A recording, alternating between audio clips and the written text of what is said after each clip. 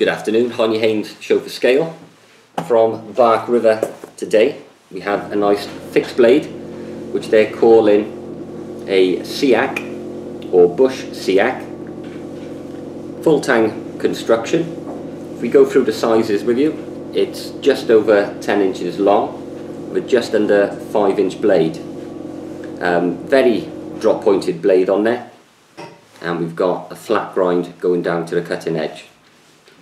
Blade material is A2 tool steel, so you've got a premium carbon steel there.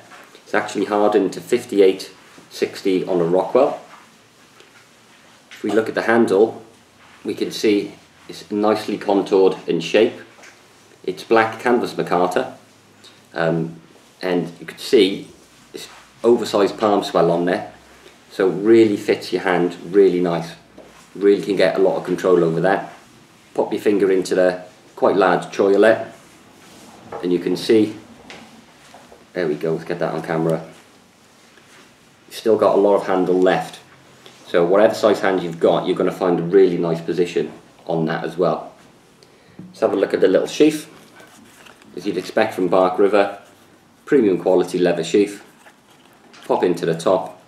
You've got a little fire starter a little holder there as well so you can put your ferro rod in it and it'll go up to a two inch belt on there.